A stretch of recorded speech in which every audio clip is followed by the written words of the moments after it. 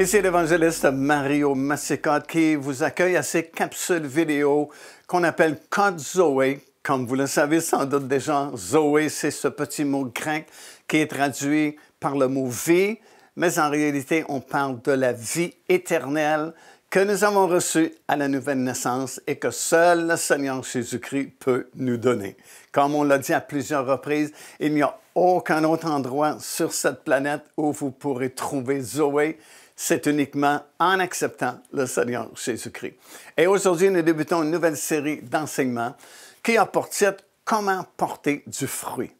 Et comme nous allons le constater au cours de cette mini-série, euh, on n'a pas le choix vraiment. Il faut porter de bons fruits. Ça devient nécessaire parce que si nous ne produisons pas ou si nous ne portons pas plutôt de bons fruits, euh, nous sommes en danger, vraiment, parce que la parole de Dieu dit, nous serons coupés complètement et mis de côté.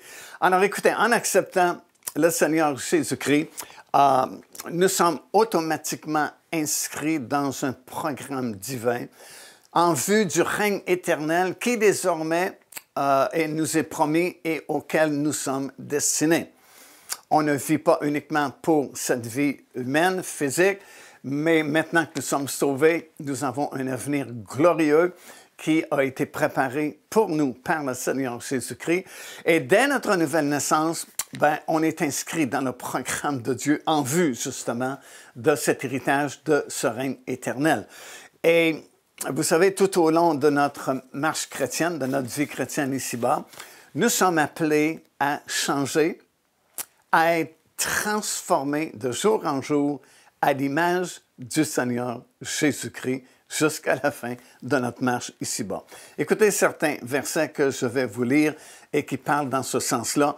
Premièrement, l'épître de Paul aux Romains, c'est dans le huitième chapitre et au verset 29. L'apôtre dit ceci, écoutez, à ce que Paul dit. Il dit, ceux qu'il a connus d'avance, parlant de ceux qui devaient être sauvés, il les a aussi prédestinés à être semblables à l'image de son Fils. Alors, nous ne sommes pas prédestinés euh, à être sauvés ou perdus, dans le sens que Dieu en choisit un certain groupe, puis euh, il oublie l'autre personne, parce que la Bible dit que Dieu veut que tous les êtres humains soient sauvés et parviennent à la connaissance de la vérité. Mais nous sommes prédestinés, maintenant que nous sommes sauvés, à devenir semblables à l'image du Seigneur Jésus-Christ.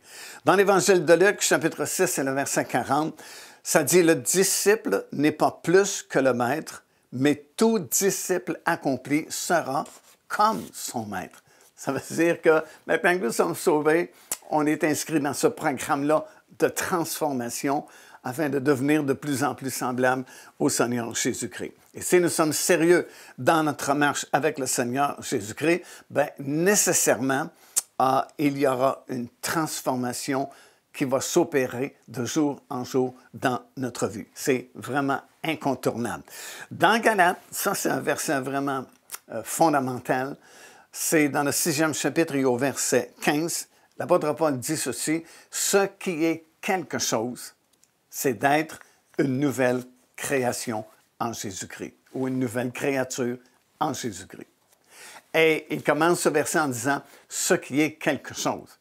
Et automatiquement, ça veut dire que ça, c'est primordial.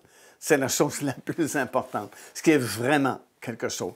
Parce qu'on peut parler beaucoup, on peut se vanter de toutes sortes de choses, mais ce qui compte vraiment, ce qui est vraiment important, comme dit l'apôtre Paul, ce qui est vraiment quelque chose, c'est d'être une nouvelle créature en Jésus-Christ.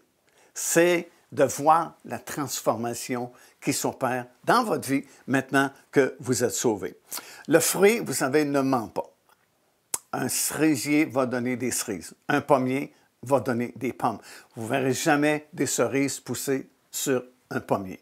Alors c'est pourquoi Jésus a dit, tout bon arbre porte de bons fruits et un mauvais arbre porte de mauvais fruits.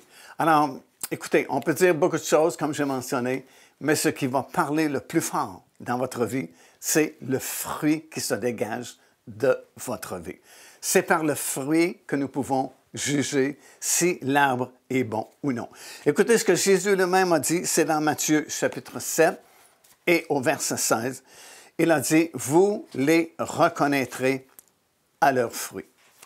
Donc, si le fruit est bon, c'est que l'arbre est bon. C'est que vous êtes bien branché avec le Seigneur Jésus-Christ et vous marchez honnêtement. Personne de nous n'est parfait. On a tous nos, nos points forts et nos point moins fort, mais au moins, avec les années, il faut que le fruit se développe, puis il faut que les gens voient un certain changement en vous, ce qui prouve que vous êtes à la bonne place, vous êtes branché sur le bon tronc, comme nous allons voir un peu plus tard dans cette série d'études, et automatiquement, le bon fruit va, être porté par vous parce que nous sommes les branches qui sont greffées sur le tronc qui est le Seigneur Jésus-Christ. Alors, c'est vraiment une étude intéressante parce que nous allons apprendre comment nous pouvons porter de fruits, et non seulement porter du fruit, mais porter beaucoup de fruits, comme le Seigneur Jésus l'a dit, afin, dit-il, que mon Père soit glorifié, afin que Dieu soit glorifié, parce que vous portez beaucoup de fruits. Alors, ça va être une étude intéressante. Ne manquez pas les prochaines capsules vidéo de cette série Code Zoé.